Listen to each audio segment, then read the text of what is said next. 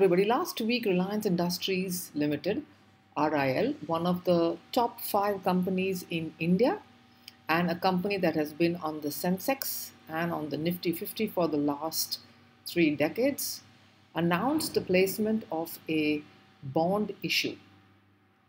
So, what we're going to try to do in this video is try to explain concepts with practical. Okay, so we'll have an understanding of bond features as well as relate every aspect of those bond features to a real live example and that to a very recent example and that is of Reliance Industries. Reliance Industries announced a jumbo bond issuance. Okay, so now this is the only company in Asia outside of Japan to have announced an issue that was almost worth $4 billion.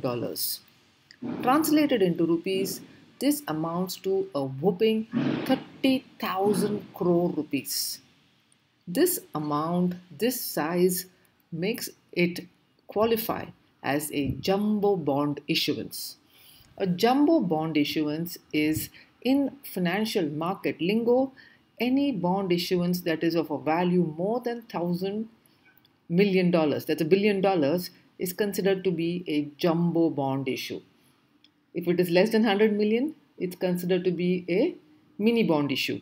But over here, as explained in New York stock markets, in New York bond markets, jumbo bonds, jumbo equities are those which exceed a billion dollars in terms of issue size. Reliance Industries had the following features of the bond issuance. The entire $4 billion, while it is collected at one time, it will be repaid in tranches. These tranches are as follows. The first tranche is of $1.5 billion that will be repaid after 10 years. The second tranche is for $1.75 billion that will be repaid after 20 years. And the last tranche of $750 million will be repaid after 30 years. Look, it's very rare that corporates issue bonds for such long durations. And here we have RIL, that's Reliance Industries Limited, announcing a placement of an issuance for a staggered period of 10 years, 20 years, and 30 years. So, this repayment, which is split, is called as tranches. Okay, so a tranche is when the entire issuance of the IPO, bond, or equity is drawn down in blocks or it is repaid in blocks. That is called as a tranche. The structure of the debt is a senior note. Now, when you look at the word senior notes, it implies that this is no collateral. Okay. If you look at the hierarchy of repayments of bond issuance of bonds, then the first bond that is to be repaid in terms of if the company becomes bankrupt will be senior notes. So the priority in claims is very, very high. Secondly, there is no collateral that is provided for this bond issuance. So there is a size of $4 billion. It is spread over a very long period of time 10 years, 20 years, 30 years. And there is no collateral that is given. So it's a completely unsecured loan. This senior notes have very high priority in claims and they pay lower interest than junior notes. Junior notes are notes which have a lower priority in claims. Okay, but because of the seniority of the nature of these notes that were issued by Reliance Industries, because it is unsecured, it is called as notes. If it was secured, it would be called as bonds. Since it is unsecured in the New York markets, the term that is used is notes. The coupon payments are also very competitive. Now listen carefully because the coupon payments are called as floating rate payments. A floating rate coupon is when the coupon payment is linked to an underlying benchmark.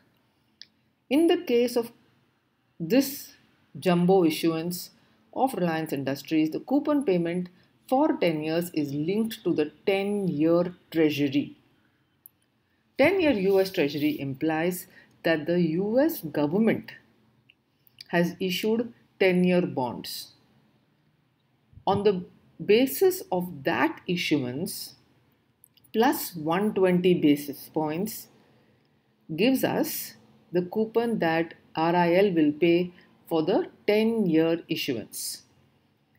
If I take a look at the real example, I've, I've extracted the rates from Bloomberg website for the rates on 7th of January and I found out that for example if the 10 year US treasury is 1.733% we add the spread. This is called as the margin okay of 120 basis points. 100 basis points is equal to 1 percentage. 120 basis points is equal to 1.2 percent. And that will be the coupon that is paid by RIL on its 10 year bond issuance.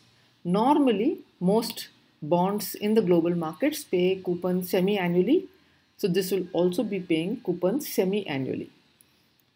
If you look at the coupon payments for the 20 year bond, it is the 20 year US Treasury plus 160 basis points. So, as you can see in the 10 year bond issuance, the margin was lesser, it was 120 basis points as the term increases, as the tenure increases, the margin also increases. The margin now stands at 160 basis points. For example, the 20 year US Treasury is 2.165% plus the spread of 1.6%.